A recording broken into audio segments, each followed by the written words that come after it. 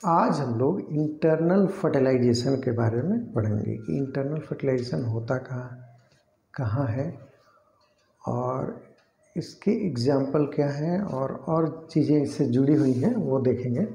तो इसमें नाम से ही समझ में आ रहा है आपका कि ये इंटरनल फर्टिलाइजेशन इंटरनल का मतलब कहीं इनसाइड में हो रहा है, अंदर। इंटरनल का मतलब किसी ऑर्गेनिज्म के शरीर के अंदर। इंटरनल इसके पहले आप एक्सटर्नल देखें, उसमें किसी ऑर्गेनिज्म के शरीर के बाहर। ठीक है, ये क्लियर हो गया?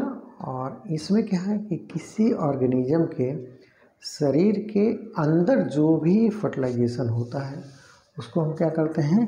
इंटरनल फर्टिलाइजेशन इसमें आप देखते हैं fertilization occurs inside the body of organism यानी कोई ऑर्गेनिज्म है, उसके शरीर के अंदर अगर जो फर्टिलाइजेशन हो रहा है तो उसको क्या कहेंगे? इंटरनल फर्टिलाइजेशन कहेंगे। ठीक है? ये तो बात क्लियर हो गई कि इंटरनल फर्टिलाइजेशन मतलब किसी ऑर्गेनिज्म या कोई ऑर्गेनिज्म है, उसके शरीर के अंदर हो रहा है, उसको हम क्या कहेंगे? इंटरनल फर्टिलाइजेशन इसमें आप देखेंगे, जैसे प्लांट है, बहुत सारे एग्ज़ाम्पल में majority of plants terrestrial organism animals में आप देखेंगे, जैसे आप रेप्टाइल्स देख लिए बर्ड्स देख लिए मेमल्स देख लिए, जैसे इनका फर्टिलाइजेशन यानी एग है स्पर्म है, ये शरीर के अंदर ही फ्यूज करता है फर्टिलाइज करता है और क्या बनाता है? जैगोट बनाता है। क्लियर हो गया? यानी आप देखेंगे। इनसाइड शरीर के क्या हो रहा है? N plus N equal to two N ये मेल गैमिट है, ये फीमेल गैमिट है, ठीक है? ये स्पर्म हो सकता है, ये एग हो सकता है, ये क्या बना दिया? जैगोट इसमें आप देखेंगे कि ये क्या हो रहा है? इनसाइड द बॉडी यानी male gamete female gamete fuse कर रहे हैं और वो क्या बना रहे हैं? जैगोट बना रहे हैं, ठीक है? उसी को हम क्या बोलेंगे? इंटरनल फर्टिलाइजेशन ये अंदर हो रहा है इंटरनल यानी शरीर के अंदर है। इसमें देखें कि ये जो ऑफ़ स्प्रिंग है, ये जो ऑफ़ स्प्रिंग जो बन रहा है, ये क्या होता है? वेल प्रोटेक्टेड शरीर के अंदर है तो वेल प्रोटेक्टेड होगा ही क्लियर है। और कवर्ड विथ कैलकेरियस सेल यानी कैलकेरियस सेल के अंदर कवर्ड रहता है, यानी वेल प्रोटेक्टेड रहता है। इंटरनल फर्टिलाइजेशन के दौरान अगर ऑर्गेनिज्म के शरीर के अंदर जो चीज़ें बन रही हैं, वो वेल प्रोटेक्टेड होती हैं। ऑर्गेनिज्म के द्वारा उसके शरीर के अंदर होती हैं तो प्रोटेक्टेड है। वहीं आप एक्सटर्नल फर्टिलाइजेशन पढ़ रहे थे तो उसमें बलरेबल कंडीशन रहती थी। चूँकि एक्सटर्नली हो रहा है तो वो इन्वायरमेंटल इम्पेक्ट उस पर ज़्यादा पड़ेगा और जो प्रिडेटर होंगे, उनके लिए भी वो उस, उनसे भी उनको खतरा होगा। तो इसलिए आप इसमें देखते हैं कि इंटरनल फर्टिलाइजेशन एक तरह से वेल प्रोटेक्टेड है और कवर्ड विथ कैलकेरियस सेल यानी एक तरह से आ, उनको वो सुरक्षा मिली है कवर्ड विथ कैलकेरियस सेल के द्वारा वो कवर्ड रहते हैं इसीलिए वो बहुत अधिक सुरक्षित रहते हैं। तो इंटरनल फर्टिलाइजेशन में जो भी ऑर्गेनिज्म होंगे यानी उनके ऑफ़ स्प्रिंग होंगे वो वेल प्रोटेक्टेड होंगे। चूँकि शरीर के अंदर है इसलिए प्रोटेक्टेड तो होगा ही जैसे आप ही के पास कोई सामान है तो कहीं बाहर रखे हैं, वो और आपके पास जेब में है तो वो अंतर तो होता ही है। जेब में आपके साथ साथ चल रहा है। बाहर है तो वो आप उससे हटेंगे तो उसको नुकसान भी हो सकता है या नहीं भी हो सकता है। लेकिन पास है तो वो उसका चांस काफ़ी अच्छा रहता है। तो इसी प्रकार से ये शरीर के अंदर ये चीज़ें होती हैं और इसमें ये देखेंगे उसी में फर्टिलाइजेशन होता है शरीर के अंदर, उसी को हम इंटरनल फर्टिलाइजेशन कहते हैं। और ये वेल प्रोटेक्टेड होता है। अब इसमें एग्जांपल में आप देखते हैं कि बहुत सारे प्लांट जो हैं, वो क्या है?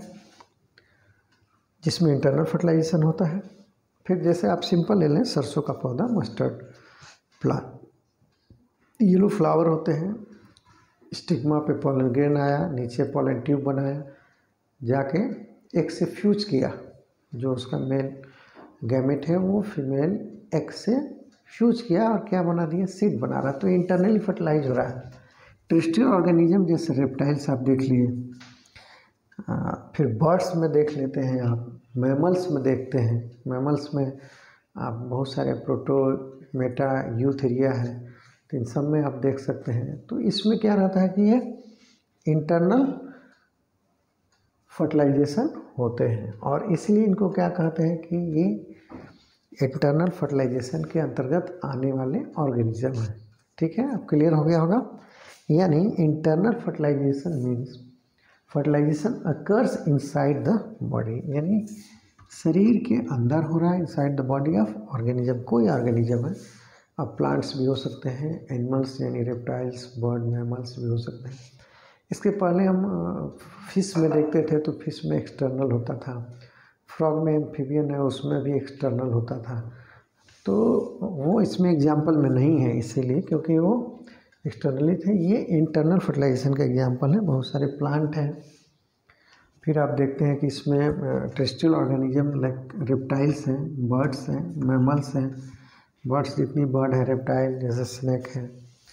तो क्या हो रहा है? इसमें इंटरनल फर्टिलाइजेशन हो रहा है। क्लियर हो गया होगा। तो इसमें आप देख सकते हैं। और ये कॉन्सेप्ट क्लियर हो गया होगा। एक बार और देख लेते हैं रिवाइज कर लेते हैं इसको, ताकि आपका कॉन्सेप्ट क्लियर हो गया।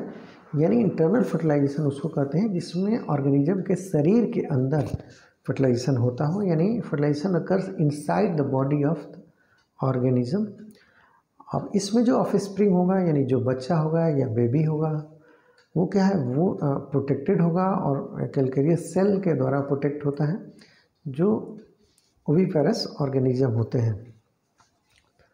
तो जैसे ओवीपेरस में आप जैसे एग अंडे देने वाले हैं, जैसे रिप्टाइल्स में है बर्ड्स में है तो आप इसमें देखते हैं जैसे मैमल में जो ओवीपेरस है, उसमें आप देख सकते हैं।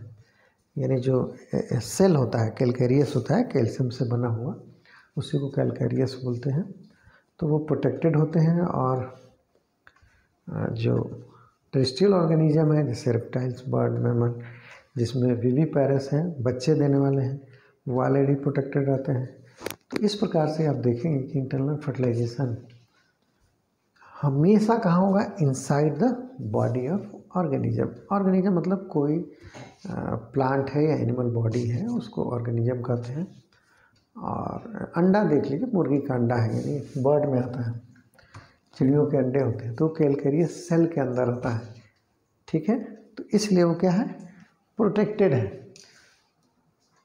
तो इसीलिए इंटरनल फर्टिलाइजेशन एक तरह से, आप देखेंगे कि ये काफ़ी प्रोटेक्टेड है और इसमें जो ऑफ़ स्प्रिंग होता है, वो बहुत सेफ़ होता है, कंपेरिजन टू एक्सटर्नल फर्टिलाइजेशन। तो इसको नोट कर लेंगे, कोई डाउट होगा, ज़रूर पूछेंगे।